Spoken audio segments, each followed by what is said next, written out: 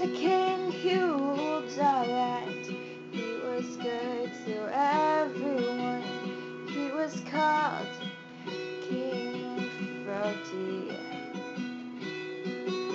He owned two magic stones for grinding to make wishes come true. He wished for peace, happiness, and wealth.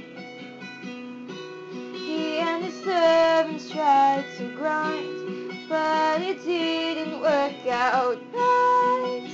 The king wanted to quit, but he didn't.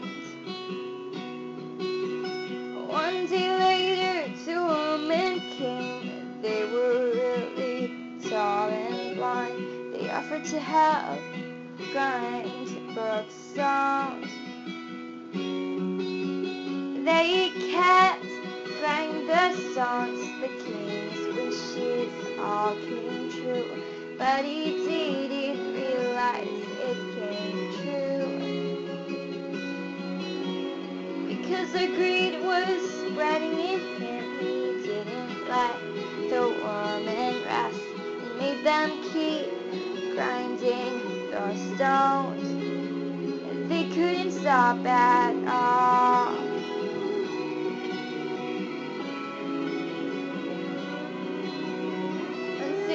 The king turned back, they grinded warriors to kill the king. After they killed the king, they knew they could no longer stay. They brought the stones and a woman with them on the ship. They made the woman grind salt.